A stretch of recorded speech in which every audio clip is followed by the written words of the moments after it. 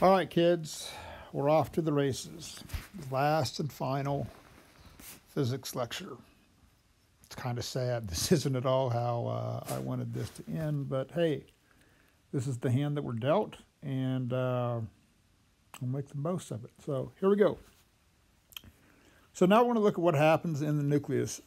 And I'm going to tell you now, when you get into this whole thing, just just accept it don't think about it too much. You're just going to end up in the fetal position, sucking your thumb. Worse yet, you're going to end up doing potentially something illegal that could harm your body. Just accept this, because once you get into the world of atomic physics, it, it just gets weird. So just accept it. Maybe because it's 720 on a Friday night and I'm giving the last lecture and I haven't had dinner, so I don't know. We'll see what happens. All right. So let's look at what Rutherford did. So if you remember Ernest Rutherford, is a great story in and of himself. Okay, so if you ever get bored, research Ernest Rutherford. So Rutherford did the gold foil experiment. So he shot alpha particles, and he called them alpha particles because he didn't know what they were. So he shot these alpha particles at a sheet of gold foil, and most of the time these particles went straight through without any deflection at all. But every once in a while, every once in a great while, like once every million times, what would happen is that this particle would come close and it would turn around and it would bounce back. Well, if you look at it from an energy standpoint, this is what we call the point of closest approach. So basically, what happens is that the kinetic energy that the alpha particle has has to equal your UWE that you're going to store. Oh, okay. Well, that's kind of cool. So then your kinetic energy is going to be 1 half mv squared, which is going to be your alpha particle. Okay, so that would be the mass of your alpha particle. Then this is going to be your UWE, which is KQ1, Q2 over R. So if you solve for R, which is going to be that point of closest approach, so this is going to be your K value. Now, I multiplied by 2, so that's where that comes from. And then you've got the two positive protons from the alpha particle. You've got the atomic number of gold, which is 79. So you got 79. And both of those would, would be multiplied by 1.6 times 10 to the negative 19th. This would be the mass of the alpha particle, and this would be how fast it's going. So you could actually figure out exactly how close this thing is going to get, and that's what we call the point of closest approach. Now, a quick refresher out of Chem 1. So, and we're going to be using this system. So when you see a symbol written like this, you're going to have two values. You're going to have a mass number, which is shown by the letter A, and then you're going to have an atomic number shown by the letter Z. Now, everybody always asks, well, why didn't we let the atomic number be A? That would make sense. I've never known exactly why. The only rational, uh, rational thing I could come up with is they wanted to stack this where you have A on top and Z on the bottom. Now, but here's what's going to be important. Remember, your mass number is the total number of protons and neutrons. Sometimes this is referred to as the total number of nucleons. So there's only one situation where your atomic number and your mass number both equal 1, and that's when you have your most abundant isotope of hydrogen. Every other time, your mass number is going to be bigger than your atomic number because this is the total number of protons and neutrons. So also coming out of quick one, out of uh, Chem 1, quick refresher. Remember that isotopes have the same atomic number, but they have a different mass number. Now, always remember this, and this is going to play out large later on. The only thing that determines the type of atom it is, is the number of protons and it is only the number of protons that determines the type of atom, not the number of neutrons, not the number of electrons. Now, speaking of electrons, if you do have an imbalance, okay, so let's say, for example, you might have an imbalance between the number of protons and electrons. So you might have something like, you know, sodium uh, 11, 22 plus. So if you get this full symbol here, remember here's the number of protons, here's the number of electron or number of nucleons, here's the number of protons, and that's going to indicate that it's lost one electron. Okay. Now, on the Balmer series, so what the Balmer series does is that it allows you to calculate the wavelength of light that's being emitted from an atom. Now, I'm never going to expect you to be able to do the Balmer series calculations, okay? I'm not. This is just kind of general knowledge in terms of an understanding of science. So, this is one of those deals that we never, the, the Balmer series worked beautifully. So, M was the basically your, your ground state. N was your excited state. And so basically, what they did is by a tr- series of trial and error, you took 91.1 nanometers, you divided it by 1 over m squared minus 1 over n squared, and that got you your wavelength. Now, this worked beautifully, and it was just a matter of trial and error. It took them about 30 years to actually figure out exactly why it worked. So there's there's going to be some problems like this on your assignment. I'm not going to expect you to know know how to do them on the test. All I'm doing is just showing you this because it was one of the kind of cool things that came out of this whole atomic spectrum thing because it allowed you to look at this and go, okay, right. We don't know why it works, but if you plug in the right numbers, you get the correct wavelength of light that's being emitted. Now, if you do a little bit of a parlor trick here, and you solve this thing, sometimes it's handy to uh, solve for like a particular wavelength, depending upon what you're trying to do. So just a quick refresher on algebra. So all I did was multiply this quantity over and then divide it back by the wavelength. So then to get like the least common multiple of n squared and m squared, you've got n squared minus m squared over n squared times m squared. So sometimes, and you're, you're going to have a problem like this on your assignment, where this is handy to have if you want to calculate a, uh, a wavelength or maybe solve for a value of n. So I'm just throwing that out there. Again, on the test, I'm not going to expect you to know this. This is just kind of a general thing that you need to know because the Balmer series, if you ever study optics, was one of the big things that happened. Okay, speaking of the nucleus. So this is a graph where you have neutrons on one side and protons on the other. So up to about 16 protons, which is about sulfur, what happens is that the number of neutrons, which is shown by the letter N, equals the number of protons, okay? So if you look at like, for example, carbon 12, okay, has six protons, six neutrons. Helium, okay, two protons, two neutrons. So what this line represents is what's known as the line of stability. This gives a ratio of the protons and neutrons where you have a stable isotope. Now, up to about 16, these are generally equal to each other. After you get past that, that line of stability curves up. So what happens is that you have to have more neutrons relative to the number of protons once you get into more massive nuclei. Because what the neutrons do is they kind of buffer the nucleus and make it stable. So this is why this thing is called the line of stability. Now, there are some variations on here, okay? It isn't like completely like this, but it kind of gives you a general idea. So if, let's say, for example, if you want to figure out if a particular nucleus is stable, track down the number of neutrons, track down the number of neutrons, see if it fits on that line of stability. If it does, it's probably going to be pretty stable. If it's way off of there, that nucleus isn't going to exist.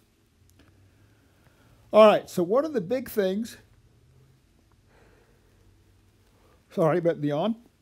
that came out of this whole idea of Einstein and the, the development of nuclear power was something known as binding energy. So, what they found out is that basically, if you tear apart a nucleus, this binding energy is how much energy is released when you disassemble a bound system like a nucleus. Okay?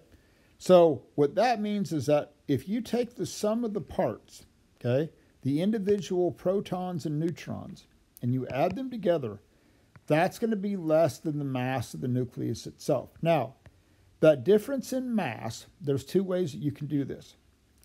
One is that you can find the difference in mass in kilograms, okay?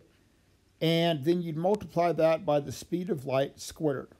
Now, that's a long, arduous process. It can be done, but it's a long, arduous process.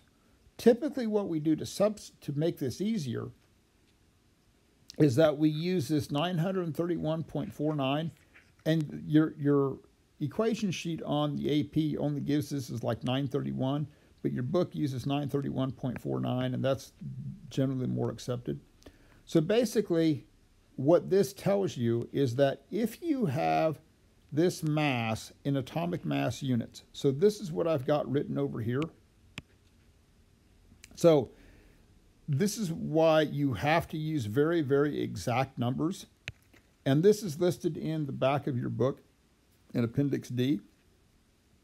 So if you're going to use atomic mass units, like the mass of a proton, 1.007825, mass of a neutron, 1.008665, so you cannot round these to one. So in Chem 1, you were told that each proton and each neutron has a relative atomic mass of about 1, which is why if you look at like carbon 12, okay, relative atomic mass of carbon 12 is 12.00. Technically, it's not. Technically, if you actually go out and to a, to a large enough number of decimal places, this isn't true.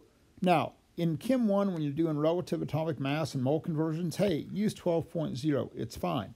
But if you're going to do if you're going to do these calculations for binding energy, you have to have these exact values.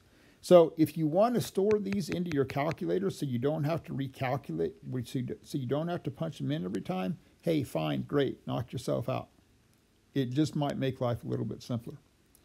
So let's say, for example, you want to find the binding energy of iron 56. Okay, and remember, sometimes you'll see this written as Fe56. Okay, so remember when you see the symbol and then a dash, like for example, carbon 12, that 12 or that 56 is representing the mass number, which is the total number of protons and neutrons. Okay, so if you want to find the binding energy, what the binding energy is going to tell you is how much energy is going to be released if you take this nucleus and you separate it apart into the individual protons and neutrons. So here's your basic formula. Basically, you take the total number of protons and you find the sum of all of those masses. You take the total number of neutrons and then you subtract the mass of the atom. So in this situation, I would have to give you, like on the test, or you're going to have access to your book, you would have to have the exact number of decimal places. Like you just can't round this to one, okay? So you'd have to look up in the back of the book that exact mass of that iron isotope, that 55.93490. So again, I cannot emphasize this enough. You cannot round this. So basically, you're going to take 26, which is the atomic number of iron, multiply that by the number of protons, 1.007825. 30 times the mass of each neutron, 1.008665. And so you notice a neutron is slightly more massive than a proton is. And then you subtract out the mass of the atom. And again, do not round this. Then, once you get this, then you want to multiply that by 931.49 MeVs per U.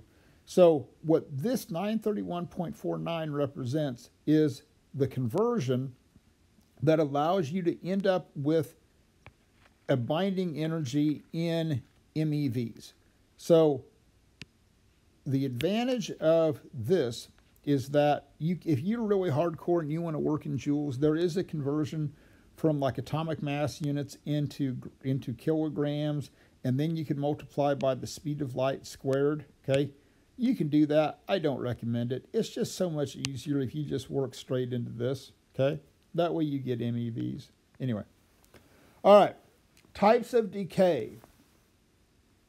There's three types. So you have alpha decay. So this is what Rutherford did.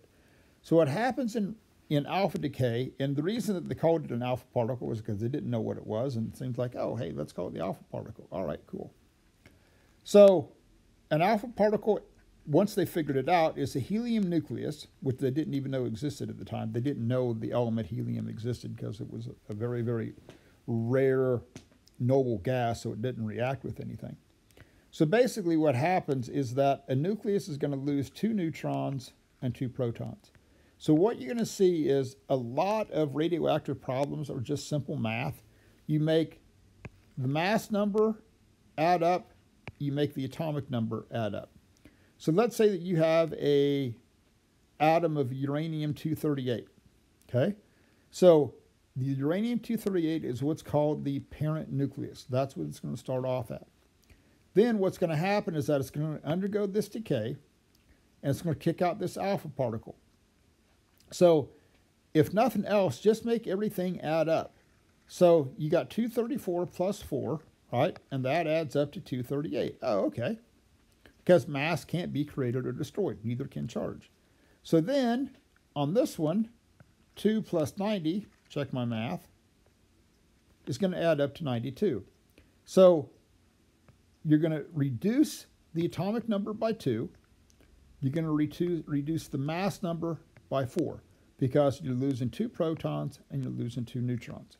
And so what's left over is what's called the daughter nucleus. Okay.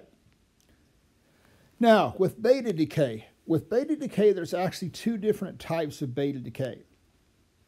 You can have beta minus and you can have beta plus. This is the beta minus is by far and away the most often occurring form of beta decay. Beta plus, mm, very rare. So the, we're going to spend most of our time on this one. So basically what happens in a nucleus is that you take a neutron, that neutron changes into a proton, but to, to balance out the charge, you have to kick out an electron. So here's the dichotomy of beta minus. With beta minus, you actually add one to the atomic number because a neutron turns into a proton. But what's important is that you don't change the number of, or excuse me, you don't change the mass number or the total number of nucleons. So within the nucleus, you're not changing the number of particles. You're just changing a proton into, excuse me, you're changing a neutron into a proton. So this is why the mass number stays the same. So what happens is that we went from an atomic number of 6 into an atomic number of 7. Now, notice what happens. Now, since we've changed the atomic number, and this is what I alluded to earlier, now I've changed the, the particle. So what would happen, and this is how they recognize this, is that you would start off with a certain abundance of, say, carbon 14. What they would find over a period of time is that you would see an increase in the amount of nitrogen in the system. Well, the only way that can happen is if this carbon is undergoing this beta minus decay, you're kicking out an electron, and you would see an increase in the amount of nitrogen within the system. So that's why I said here's the dichotomy of beta minus. With beta minus, you actually add 1 to the atomic number. So you'd go from 6 to 7 or 8 to 9 or whatever that is. Now, and what the minus is referring to is the fact that you're kicking out an electron that has a negative charge. Some people like to think of it that way. I don't care, just think of it. Now, with beta plus, which is rarer, what happens here is kind of the reverse. A proton turns into a neutron, but you kick out something known as a positron. So a positron has the exact same charge as excuse me, has the exact same characteristics of a proton, but instead of but instead of having a negative charge, it has a positive charge. Okay, so here's what you got here. So let's say, for example, what would happen is that you've got magnesium turning into sodium. So here's the other thing. With beta plus, just like on beta minus, you add. On beta minus, oh, I did not mean to do that. With beta minus, you subtract one from the atomic number. So with this one, you've got you're starting with magnesium, then you're going to kick out a neutron, and or the proton's going to turn into a neutron, and you're going to kick out a positron. So again, you're maintaining the overall charge of the system. So you're going to kick out a positron. What would happen here is that you would see an increase in the abundance of sodium.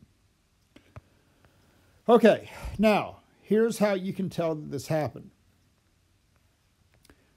The excuse me, here's the third type. I, I skipped one. So the third type that you can have is gamma decay. Now, gamma rays aren't really rays. They're actually very, very, very high energy protons. Excuse me, very high energy photons.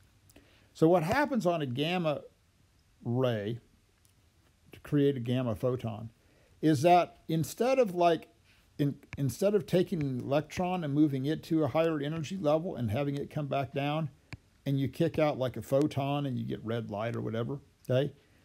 Gamma rays actually involve an excited nucleus within this. So now you have like a, a proton going from one ground state to a higher ground state and back down. Well, that takes a lot of energy to make that happen. So let's say that you have tactilium, actinium, and what happens here is that because of the fact that you're not kicking out any particles, you're not changing the number of protons, you're not changing the number of neutrons, everything stays the same, but you're going to kick out a gamma ray, which is just very, very high energy photon. So gamma ray, gamma decay is simple because you don't have to change anything. You just kick out in a very strong, high energy photon. Okay, so now let's say that you have a radioactive source and you want to figure out what's happening. Well, so this is going to go retro back to a magnetic field.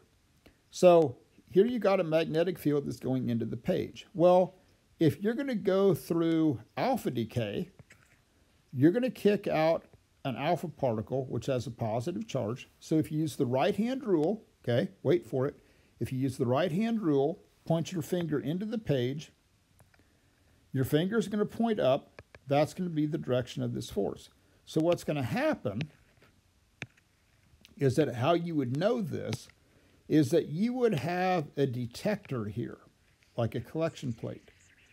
And what you would see is that you would see, if this is what was happening, is that you'd see a collection of these alpha particles striking this plate. And so, like what Rutherford did, Rutherford used a phosphorescent screen. So, phosphorescent screens, when they're hit with high energy particles, emit a flash of light. So if you're Rutherford, what you would see is that you would see flashes of light showing up here. And again, get out of your mind right now that you can actually see alpha particles. You can't. They're, they're like the nucleus of an atom. You can't see them. Now, if you go through beta minus decay and you kick out an electron, if you use the left hand rule or the inverted right hand rule, the electrons are going to flow down here. So you would have a detector plate down here. Now, but notice what's happening to the radius of curvature. The alpha particles are much, much, much, much, much, much, much more massive because of the nucleus. So those aren't going to get deflected very much. The electrons, though, they're going to go whoop, okay? Because they're going to have, that's the exact sound that they would make is whoop, okay? And I can't, there we go. So we just go whoop, and those are going to get bent a lot more because of the fact that they have a much smaller mass. Now, the gamma rays, they're just a photon. They're not going to interact. They're not going to interact with that magnetic field at all. Now, here's the last thing. Sometimes you're going to have what's called electron capture. So electron capture is kind of the reverse of what happens in beta decay.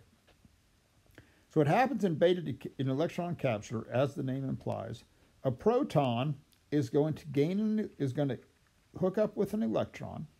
So again, notice that we don't change the number of uh, the mass number. But what happens is that the proton turns into a neutron and you kick out a neutrino. Now, neutrinos are these exceptionally, exceptionally weird little particles. And like for they come, there's a whole lesson you could give on neutrinos. There's three different types of neutrinos, okay, depending upon how long they've traveled. So right now, coming out of the sun, there's billions upon billions upon billions of neutrinos streaming through your body right now. Don't flip out, okay? They've been coming through your body since you were conceived. It's okay. They don't interact with anything.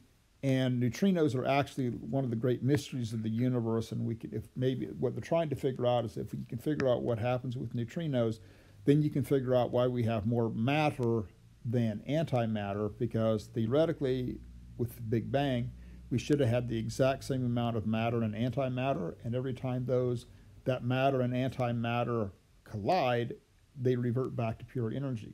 So if you were always had the same amount of matter and antimatter in the universe, then we wouldn't be here having this discussion. So something had to tip the proverbial scales over on the matter side and less on the antimatter side. And that's what they think maybe neutrinos have played a role in that. Okay, kids, that is it. It's Friday night, it's quarter to eight. I've been talking for quite a while. I am done. Uh, I'm going to send out this. I'm going to send out a link to a really cool um, explanation done by the BBC about the what's called the standard model, which explains all these weird different types of classifications of subatomic particles, charms and photons and muons and gluons and all this good stuff. It's, it's pretty fascinating to watch. So I'll send that out as well. Kids, I wish I could, at this point, give you all a high five and see your smiling faces knowing that I've just given you your last lecture. But I have enjoyed it. We will, um, this isn't my, my farewell, but it's my farewell as far as trying to explain stuff. So uh, I hope I've done a good job of that. And hopefully you've learned some stuff along the way. And